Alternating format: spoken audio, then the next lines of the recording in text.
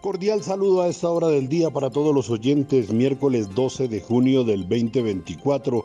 Ingreso de vehículos con carga 1.316 para un total de 9.016 toneladas. El 90% de la producción de tomate está concentrada en 10 departamentos de la región andina, siendo Boyacá el de mayor productividad, seguido de Calda, Risaralda y Cundinamarca. Las variedades más sembradas son el Milano, chonto y larga vida, ampliamente usadas en la cocina colombiana. Los precios actuales a nivel mayorista lo colocan como un producto con tendencia a la baja. El tomate chonto, el kilo está en 2.500 pesos, tomate larga vida 3.500 y el tomate milano 3.500 pesos.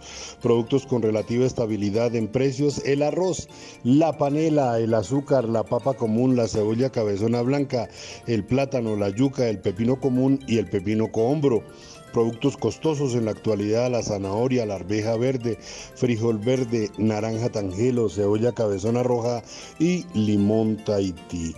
Hoy a la hora de hacer mercado, para rendir el presupuesto familiar, le recomendamos a las amas de casa tener en cuenta los granos y procesados, arroz, lenteja, garbanzo, pastas, panela, arveja verde seca, la buena oferta de frutas, banano, piña, papaya, mora, guanábana, maracuyá, presenta buena oferta, al igual que es buena la oferta de aguacate papelillo. Continúa llegando una buena oferta de huevo, de queso, al igual que la carne de res, el pollo, el pescado y la buena oferta de plátano artón, plátano colicero, yuca y arracacha. Panorama de oferta y demanda en la central mayorista de Bogotá. Informe con Pedro Triviño. Feliz día.